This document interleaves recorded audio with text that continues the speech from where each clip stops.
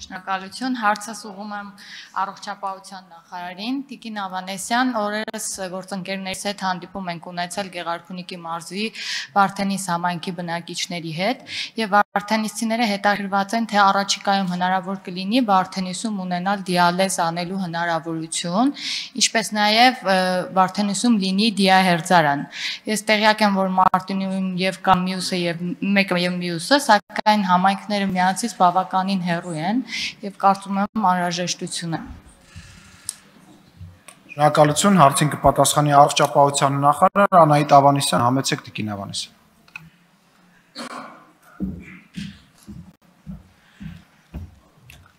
Շնորհակալություն հարցի համար։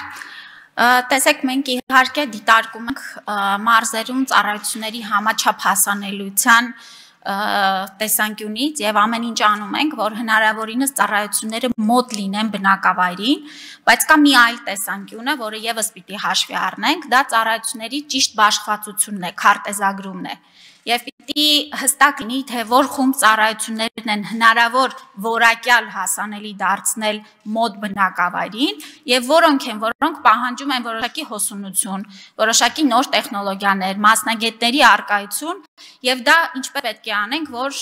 խմբավորված լինեն ավելի մարզային կենտրոններում, բայց իհարկե հասանելիության սկզբունքը պահելով։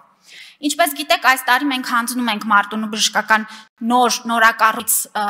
ուրեմն կենտրոնը, որը հագեցած է լինելու նորագույն սարքավորումներով, ասեմ, որ անցյալ տարի արդեն մի քանի հատվածը սարքավորումների թարմացվել է եւ ամբողջական դա կտեղափոխվի արդեն նոր թարմացված ֆորմատով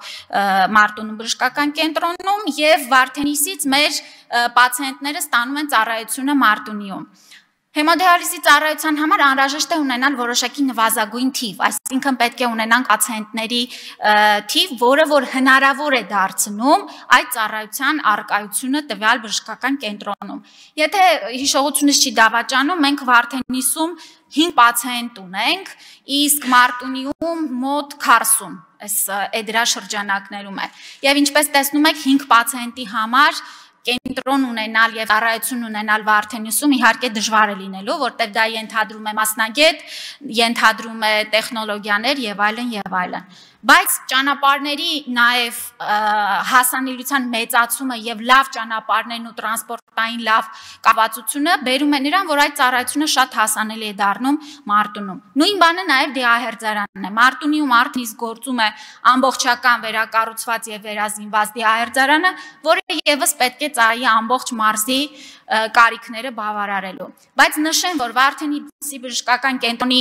նախագծանախաշվային աշխատանքները այս տարվա բյուջեով արդեն հաշվարկված են։ Մենք Մարտունին ավարտելուց հետո պետք է իհարկե ունենանք նմանատիպ նույն ստանդարտներով կառուցված նաև Վարդենիսի բժշկական կենտրոնը, որը գուցե ավելի համեստ ծառայությունների շրջանակով, բայց նույն որակով պետք է ծառայի մարզի բնակչության։ Արձագանք Արձագանք շնորհակալություն